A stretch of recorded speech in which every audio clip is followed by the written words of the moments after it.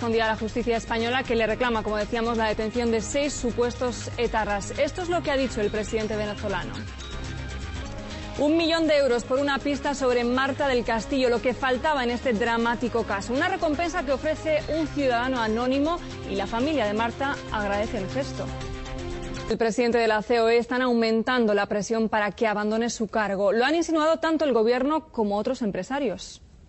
La ya ha identificado al menos a 15 de sus víctimas en nuestro país, grabadas con una minicámara por el propio cura. La justicia pedirá previsiblemente su extradición a España.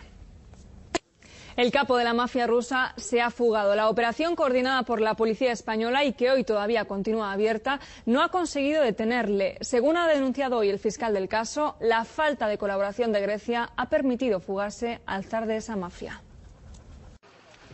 En Tailandia, los camisas rojas han protestado así, como van a ver. Han encontrado su hogar en las terminales del aeropuerto madrileño de Barajas. Hasta 50 mendigos pasan allí las noches. Los trabajadores denuncian la falta de higiene que supone su presencia y temen por su seguridad, pero nadie puede echarles de allí. Escuchen por qué.